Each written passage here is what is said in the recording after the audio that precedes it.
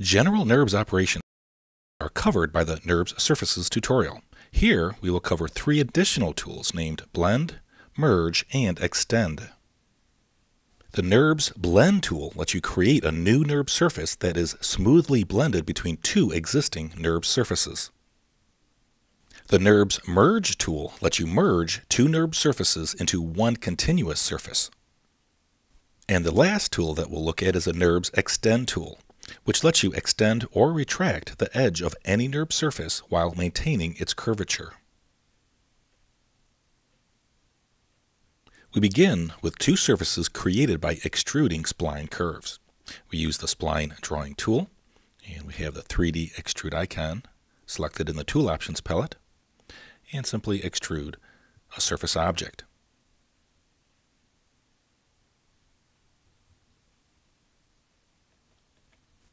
Then, with the NURBS Convert tool, click on them to convert them into NURBS surfaces. Let's start with the NURBS Blend tool. With this tool active, click on the two edges and a separate surface is generated. In the Tool Options palette, you can change the continuity of the blended surface to the existing surface. Select G0 and there is no tangency. The blended surface is positioned straight to the other edge. G1 makes the blended surface meet tangent to the existing surface at the seam. G2 makes the blended surface meet tangent to the existing surface just like G1, but also adjusts the curvature of the blended surface to match the curvature of the original surface, resulting in smoother continuity. G3 does the same thing as G2, but also takes into consideration the rate of curvature, which means it has to calculate the blend deeper into the existing surface. This results in even smoother continuity.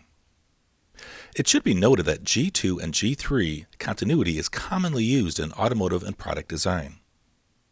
G4 does the same thing as G3, but also takes into consideration the rate of change of the rate of curvature, which means it has to calculate the blend even deeper into the existing surface. This results in a very smooth continuity by matching this increasing or decreasing rate of curvature of the existing surface.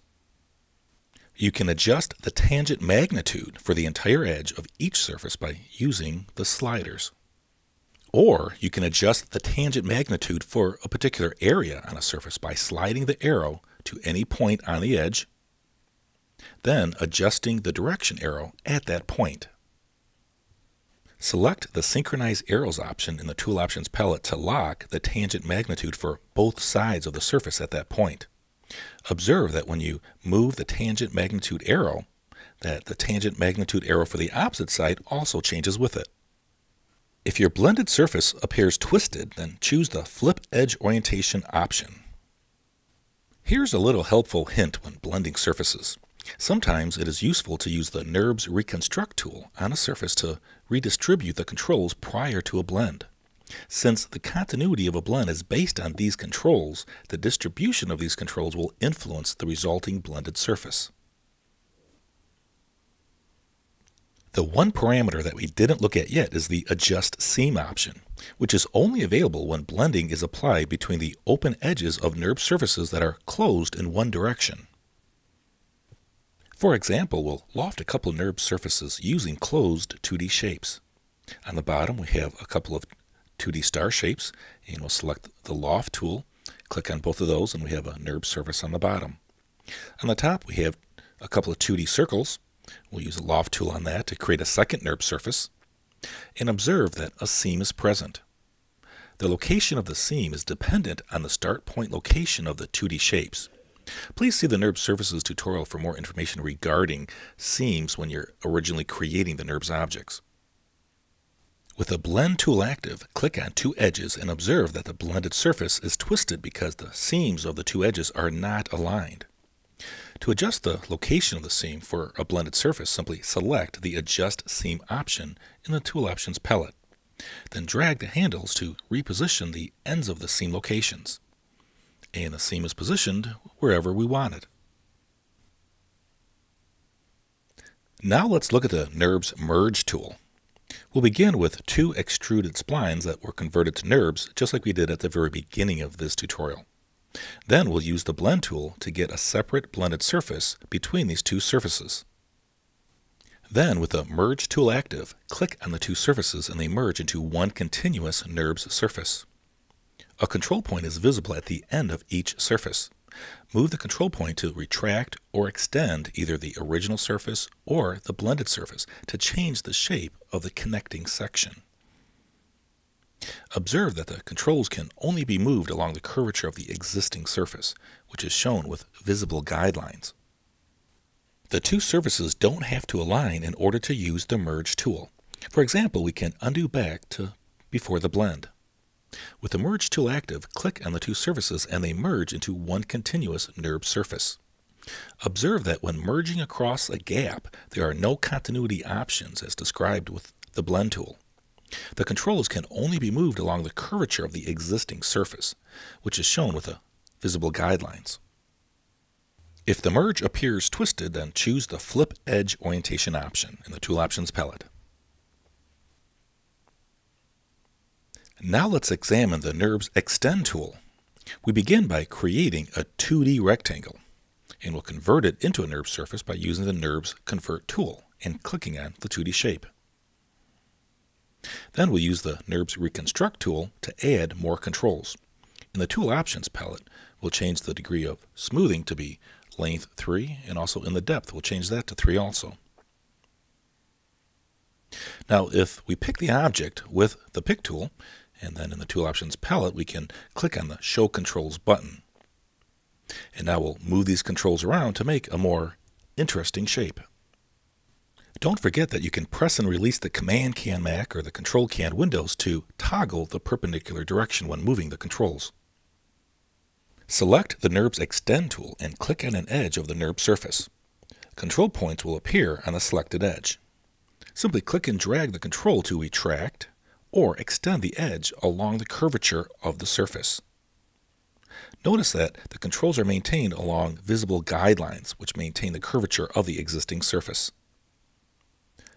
In order to extend another edge, just simply click on a different edge, and now you have controls on this edge that you can extend or retract on that part of the NURB surface. Let's conclude this tutorial with a quick example. We'll create just the handle of the sink faucet by blending and merging three NURB surfaces. The base of the faucet handle is a primitive cylinder. In the Tool Options palette, we can set the closure to be none, so it's open on the top and the bottom. And then using the NURBS Convert tool, we can convert it into a NURBS object. For the handle, we first switch to the ZX plane. Then using the 2D rectangle tool, we draw a 2D shape on that ZX plane. And then we select the Move tool with the Copy option and make a copy of it in the perpendicular direction to that plane. Then select the NURBS Loft tool and click on the two rectangles to loft a smooth NURBS surface. For the ball of the handle, we'll create a primitive sphere. Then we'll open the sphere 90 degrees. And then in the Tool Options palette, we can set the closure to be none to make it a surface object. Now let's use the NURBS Convert tool and click on it to convert it into a NURBS object. Then using the Move tool, and be sure we set the copy modifier to be self, and we'll just move it back into the scene where we need it. You can move, rotate, or scale the shapes and orientate them in 3D space as desired. Once you have them positioned where you want them, then we're ready to start blending the shapes together. Select the Blend tool and click on the base and the handle.